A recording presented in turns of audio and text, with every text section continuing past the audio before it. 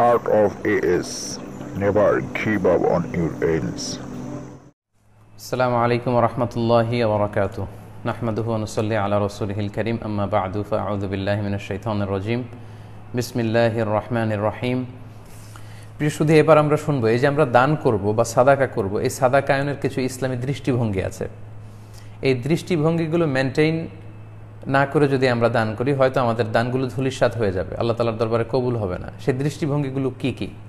মোট দশটি দৃষ্টিভঙ্গি সাদা সাদাকায়নের দশটি ইসলামী দৃষ্টিভঙ্গি এ পর্যায়ে আমি আপনাদের সামনে উপস্থাপন করব ইনশাআল্লাহ। প্রথম দৃষ্টিভঙ্গি হচ্ছে, আপনি যেটা দান করবেন, এটা হালাল উপার্জন থেকে হতে হবে। হারাম উপার্জন থেকে দান করলে কিন্তু সেটা আল্লাহ তালা কবুল করবেন না। সহি মুসলিমের বর্ণনা এসেছে, আল্লাহ রাসুল সাল্লাহ সাল্লাম বলেছেন ইন আল্লাহ তৈগিব লা ইয়াকবালু ইল্লা তৈগিবা আল্লাহ নিজে পবিত্র, আর পবিত্র ছাড়া কোনো কিছু আল্লাহ গ্রহণ করেন না। অর্থাৎ আপনি হারাম উপার্জন থেকে যদি দান করেন, হারাম উপার্জনটা এটা হচ্ছে নাজাসাদ বা খাবিসাদ এটা নাপাক, অপবিত্র একটা জিনিস। সেখান থেকে দান করলে কিন্তু আল্লাহ তালা কবুল করবেন না। এবং সুরা বাকার আর দুশত আটষট্টি সাতষট্টি নাম্বার আয়াতে আল্লাহ তালা ইরশাদ করছেন, ইয়া আইয়ুহাল্লাযীনা আমানু আনফিকু মিন তাইয়্যিবাতি মা কাসাবতুম। ওহে বিশ্বাসীরা, তোমরা তোমাদের হালাল যে উপার্জন আছে, সেটা থেকে দান করো। হারাম থেকে দান করো না, কারণ হারাম উপার্জন থেকে দান করলে সে দান আল্লাহর দরবারে কবুল হয় না। তাহলে সাদাকা বা দানের প্রথম যে দৃষ্টিভঙ্গিটা আমরা জানতে পারলাম, সেটা হচ্ছে আমাদের দানটা, আমাদের সাদাকাটা, এটা আমাদের হালাল উপার্জন থেকে হতে হবে, হারাম থেকে দান করলে সেটা আল্লাহর দরবারে কবুল হবে না। দুই নম্বর দৃষ্টিভঙ্গি হচ্ছে, আমরা যখন দান করব, ভালো জিনিসটা আল্লাহ রাস্তায় দান করব। সবচেয়ে ভালোটা, যেটা আমি নিজের জন্য পছন্দ করি, সেটাই আমি আল্লাহর রাস্তায় দেব। কিন্তু আমরা অনেক সময় এটা করি না। একজন ভিক্ষুক এসে টাকা চাইলো, স্যার, কিছু টাকা দেন। তখন দেখা যায় যে পকেট থেকে আমরা বের, টাকা বের করে সবচাইতে নোংরা, পচা, ছেঁড়া, ময়লাযুক্ত যে দশ টাকার নোটটা ছেঁড়া, ওইটা আমরা ভিক্ষুককে দেই। এটা কিন্তু আসলে ঠিক না। বরং যেটা চকচকে, সুন্দর নোট, যেটা আমরা রেখে দিতে চাই, ওইটা গরিবের হাতে তুলে দেওয়া উচিত। কারণ আল্লাহ রাস্তা আমরা যেটা দেবো, এটা যেন সবচাইতে ভালো হয়। সুরাতুল বাকার আর দুশত সাতষট্টি নম্বর আয়ত আল্লাহ বললেন ওলা তাইমামুল খবিস মিনহু তুংফিকুন যেটা নাপাক, যেটা সুন্দর না, যেটা ভালো নয়, এমন কোনো জিনিস তোমরা আল্লাহ রাস্তায় দান করো না। বরং সবচাইতে ভালো জিনিসটা তোমরা আল্লাহ রাস্তায় দান করো। আমরা অনেক সময় এমন হয় যে, কারও আম গাছ আছে, সে ভাবলো যে আমগুলো পারার পরে কিছু আম গরিব মিসকিনদের মধ্যে দান করব। তো দেখা যায় যে সবচেয়ে পচা যে আমগুলো, যে আমগুলোর মধ্যে পোকা ধরে গিয়েছে, ওই পোকাযুক্ত পচা আমগুলো আমরা গরিবদের হাতে তুলে দিই। এটাও কিন্তু দানের যে সঠিক দৃষ্টিভঙ্গি তার সাথে কন্ট্রাডিক্ট করে। কারণ আল্লাহ তালা কালামুল্লাহ মাজিদ এরশাদ করেছেন লান্তানালুল বিররা হাত্তা তুমফিকু মিম্মা তো হিব্বুন তোমরা ততক্ষণ পর্যন্ত পুণ্য হাসিল করতে পারবে না। যতক্ষণ না তোমরা নিজেরা, নিজেদের জন্য যেটাকে পছন্দ করো, সেটা যতক্ষণ না অন্যকে দান করতে না পারবে, সেটা আসলে প্রকৃত দান হবে না। তাই সম্মানিত দিনী ভাই এবং বোনরা, দানের ক্ষেত্রে যেটা সবচাইতে ভালো জিনিস, সেটা যেন আমরা আল্লাহ রাস্তায় দান করি। ছিঁড়া টাকার যে ছেঁড়া নোট থাকে, ময়লা নোট থাকে আমাদের পকেটে, খুঁজে খুঁজে ওইটা যেন দান না করি। আমি গাছের আম দান করতে চাই, পচা আমগুলো, নষ্ট আমগুলো, যেগুলো আমার খেতে রুচিতে বাঁধে, এগুলো যেন আমি গরিবের হাতে তুলে না দিই। তাহলে দানের দ্বিতীয় দৃষ্টিভঙ্গি হচ্ছে আমরা ভালো জিনিসটা আল্লাহ রাস্তায় দেব। সাদা কায়ন বা দানের তিন নম্বর দৃষ্টিভঙ্গি হচ্ছে, দান করতে হবে প্রয়োজনাতিরিক্ত যেটা আছে আপনার, সেটা মানে আপনার নিজের যে বেসিক নিড এগুলো পূরণ করার পরে এরপরে আপনার কাছে উদ্বৃত্ত, অতিরিক্ত যেটা থাকবে সেটা আপনাকে দান করতে হবে। আপনার নিজের প্রয়োজন পূরণ না করে আপনি দান করবেন। এইরকম দানের কথাও কিন্তু ইসলাম আমাদেরকে উদ্বুদ্ধ করেনি। আল্লাহ তালা সুরাতুল বাকার দুশত উনিশ নম্বর আয়াতে বলছেন ওয়েস আলুনা কামাদা ইউফিকুন কুলিল আফওয়া। নবী, হে, লোকেরা আপনাকে জিজ্ঞেস করে যে তারা কি দান করবে আল্লাহর রাস্তায়? আপনি তাদেরকে সোজা সাপটা ক্লিয়ারলি বলে দিন আল্লাহ আফওয়া, যেটা অতিরিক্ত। যেটা তোমার লাগছে না। তোমার যত প্রয়োজনীয় বেসিক নিডস আছে, এগুলো তুমি ফুলফিল করেছ। এরপরে তোমার কাছে অতিরিক্ত অর্থ জমা হয়ে আছে, সেখান থেকে তুমি দান করবে। পাশাপাশি দানের ক্ষেত্রে যেন আমরা ভারসাম্য চেক অ্যান্ড ব্যালেন্স করি, ভারসাম্য রক্ষা করি, সেটাও কিন্তু ইসলাম আমাদেরকে জানিয়েছে এবং শিখিয়েছে। সুরাতুল ফোরকানে যেখানে আল্লাহ রহমানের প্রিয় বান্দাদের গুণাবলীর কথা বলছিলেন, সেখানে একটি আয়াতে আল্লাহ তালা বলেছেন ওয়াল্লাদিনা ইদা আং ফাকু লাম ইউসরিফু ওয়ালাম ইয়াখতুরু ওয়াকানা বাইনা দালিকা কওয়ামা। এর মানে হচ্ছে বিশ্বাসীদের বৈশিষ্ট্য হচ্ছে বা রহমান এর বান্দাদের, প্রিয় বান্দাদের বৈশিষ্ট্য হচ্ছে তারা যখন দান করে, তারা অপচয়ও করে না, আবার কৃপণতাও করে না, বরং চেক অ্যান্ড ব্যালেন্স ওখানে বাইনা দালিকা কওয়ামা, দানের ক্ষেত্রে তারা ভারসাম্য করে, সেখানে তারা কৃপণতাও করে না, আবার সেখানে তারা অপচয়ও করে না, বরং চেক অ্যান্ড ব্যালেন্স করে। তাহলে দানের চার নম্বর যে তিন নম্বর যে দৃষ্টিভঙ্গি আমরা সাদা কায়নার ক্ষেত্রে জানলাম, সেটা হচ্ছে প্রয়োজনের অতিরিক্ত যেটা, সেটা দান করা এবং দানের ক্ষেত্রে ভারসাম্য রক্ষা করা। দান করার চার নম্বর ইসলামী দৃষ্টিভঙ্গি হচ্ছে দান করতে হবে শুধুমাত্র আল্লাহ তালার সন্তুষ্টির জন্য, এটা লোক দেখানো কোনো কারণে যেন দান না হয়ে যায়। যদি আমরা লোক দেখানো কোনো কারণে দান করি, তাহলে কিন্তু সেই দানটা আল্লাহ তালার দরবারে কবুল হবে না, যেটাকে আমরা শো অফ বলি।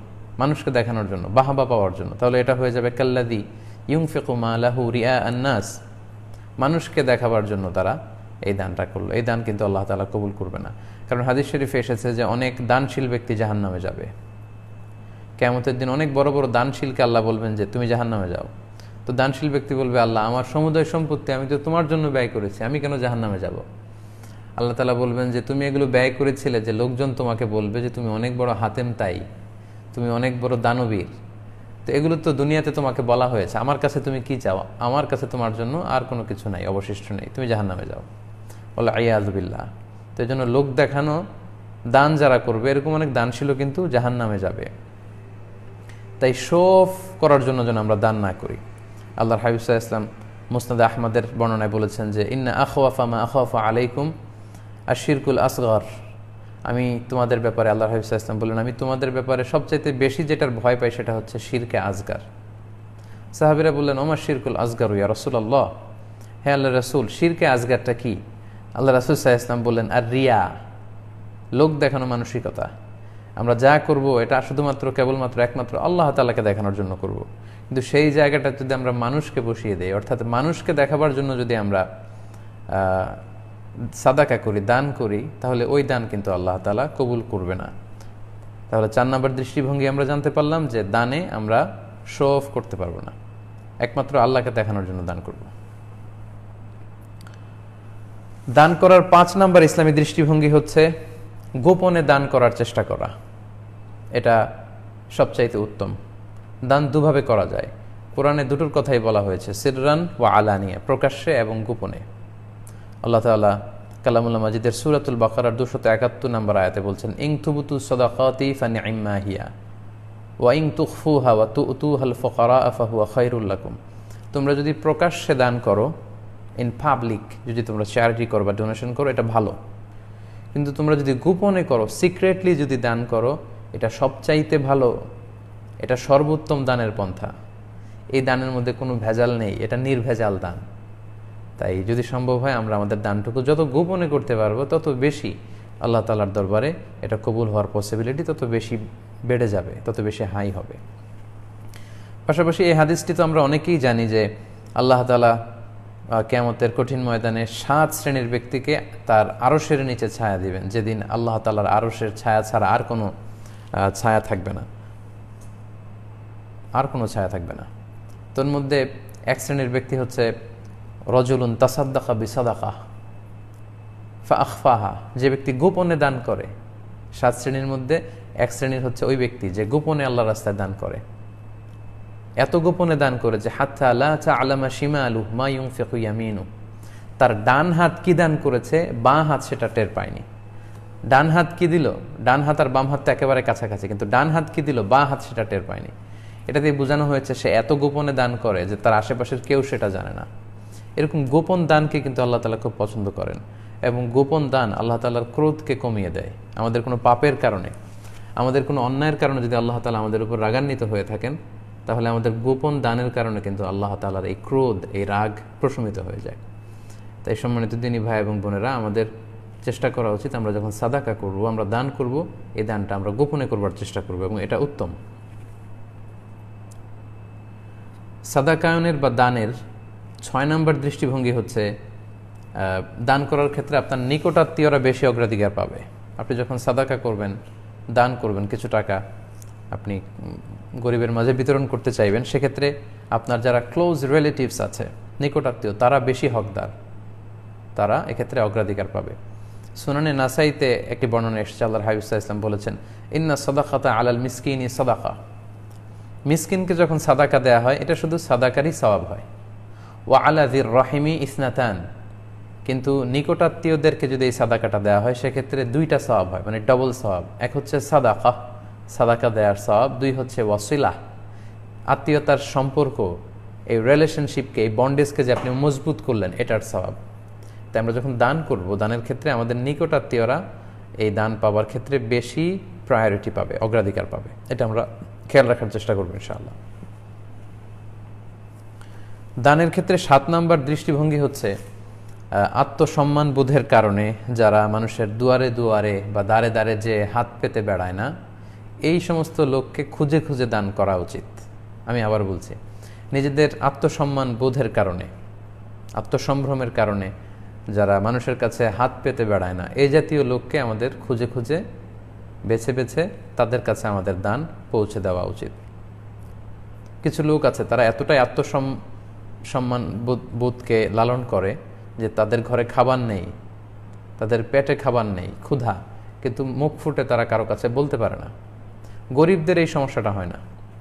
যারা মানুষের কাছে চেয়ে অভ্যাস, তারা এ বাড়িতে যায়, এর কাছে যায়, ওর কাছে যায়। এখানে দান করা হচ্ছে, এখানে যে লাইনে ধরে হাত পাতে, ওখানে যে লাইন ধরে হাত পাতে। কিন্তু কিছু লোক আছে, তারা আত্মসম্মানের কারণে কোথাও লাইন ধরতে পারে না, কারও কাছে বলতে পারে না। তারা এমনভাবে চলে, তাদের ভেতরকার কষ্টটা এই কষ্ট তাদেরকে দুমড়ে মুচড়ে একেবারে শেষ করে ফেলে, কিন্তু তারা কারও কাছে মুখ ফুটে কিছু বলে না। ইসলাম আমাদেরকে শিখিয়েছে যে ওই সমস্ত লোকদেরকে খুঁজে খুঁজে তাদের হাতে তোমার সাদাকা পৌঁছে দাও। এবং কালামুল্লাহ মাজিদে আল্লাহ তালা এ ব্যাপারে আমাদেরকে সুরাতুল বাকার আর দুশত তিয়াত্তর নম্বর আয়াতে বলেছেন, ইয়াহসাবুহুমুল জাহিলু আগ্নিয়া আমিনা তাআফুফ তারিফুহুম বি সিমা হুম লাইয়াস আলুনান্নাসা ইলহাফা। মূর্খরা কিছু নির্বোধ লোকেরা তাদেরকে দেখে মনে করে যে তারা ধনী। আসলে তারা ধনী না। তাদের আত্মসম্মানের কারণে তারা মানুষের কাছে চেয়ে বেড়ায় না। হাত পেতে বেড়ায় না। আমাদের উচিত তাদের কাছে আমাদের দানগুলো পৌঁছে দেয়া। এই কোভিড নাইন্টিনের এই আউটব্রেকের পিরিয়ডে যারা ধনী, তারা তো দান করে যাচ্ছেন। আর যারা গরিব, তারা এই দান গ্রহণ করছেন। এবং যারা হাত পাতার অভ্যাস আছে, তারা সব জায়গায় যে যে হাত পাততে পারে। তারা হয়তো একবারের জায়গায় পাঁচবার, দশবার ত্রাণ পাচ্ছেন বা সহযোগিতা পাচ্ছেন।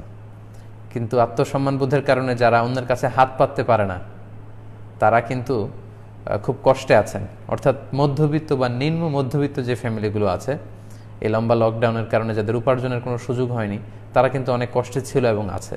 আমাদের উচিত এই জাতীয় নিম্ন মধ্যবিত্ত ফ্যামিলির যারা আত্মসম্মানের কারণে অন্যের কাছে হাত পেতে বেড়ায় না, তাদেরকে খুঁজে খুঁজে যেন আমরা তাদেরকে সহযোগিতা করি। দানের বা দান করার আট নম্বর দৃষ্টিভঙ্গি হচ্ছে দান করে খোটা দেয়া যাবে না।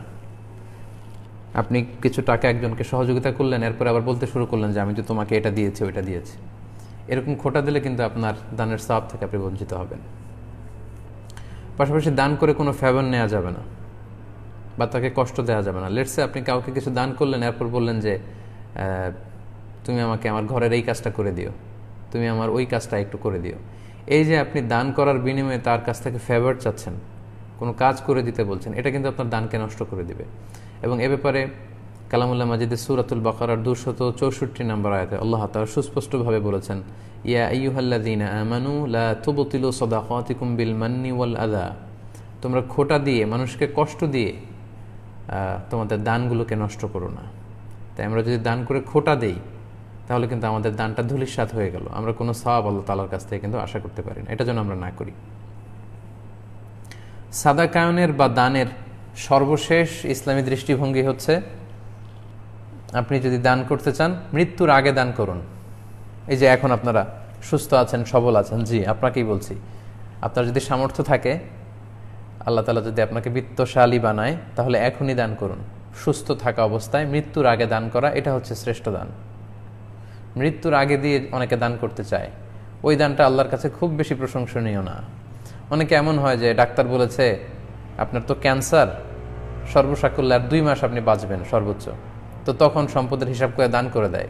ওই এতিমখানায় পাঁচ লাখ, ওই মাদ্রাসায় দশ লাখ, ওই গরিব লোককে দুই লাখ। তো তখন তো আপনার দান করা ছাড়া আর কোনো গতি নেই। তখন তো দান করা ছাড়া আপনার আর কোনো উপায়ও নেই। এজন্য যখন ভোগ, সম্পদ ভোগ করার শক্তি, সামর্থ্য সব কিছু আপনার আছে। আপনি বেঁচে আছেন, সুস্থ আছেন। সম্পদ ভোগ করার সুযোগ আপনার আছে। ওই মুহূর্তে যদি আপনি দান করেন, ওই দানটা আল্লাহ তালার কাছে অত্যন্ত প্রিয়। তাই মৃত্যুর আগে সুস্থ থাকা অবস্থায় সম্পদ ভোগের আমাদের আকাঙ্ক্ষা আছে, সুযোগ আছে। ওই মুহূর্তে যদি আমরা আল্লাহ রাস্তায় দান করি, ওই দানটা আল্লাহ তালার কাছে প্রিয়। সুরাতুল মুনাফিকুনের দশ নম্বর আয়াতে এ ব্যাপারে আল্লাহ তালা বলছেন ও আংফিকু মিম্মা রোজাকুনাকুম মিন কবলি আইয়াতিয়া আহাদা কুমুল মাউত।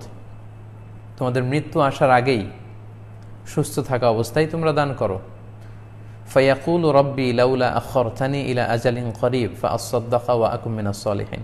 অনেকের অবস্থা এমন হবে যে মৃত্যুর পরে সে আল্লাহকে বলবে, আল্লাহ আরেকটু যদি সুযোগ দিতে আমাকে। আর যদি কয়েক মাস আমি বেঁচে থাকতাম পৃথিবীতে, তাহলে আমার সব সম্পদগুলো আমি দান করে আসতাম। কিন্তু তাকে কিন্তু এই সুযোগ আল্লাহ তালার দান করবেন না। এজন্য আমরা সুস্থ থাকা অবস্থায় যেন দান করি। এ ব্যাপারটিকে সহি বুখারির আরেকটি হাদিসে খুব চমৎকারভাবে উল্লেখ করা হয়েছে। এক সাহাবি এসে আল্লাহ রাসুল সাল্লাহ সাল্লামের কাছে জিজ্ঞেস করলেন, ইয়া রাসুল আল্লাহ আইয়ু সদাকতি আদম আজরান?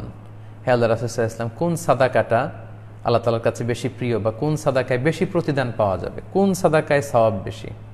আল্লাহর হাবিব সাহা ইসলাম বললেন, ওয়া আন্তা সদ্দাকা, ওয়া আন্তা সাহিহুন শাহিহ।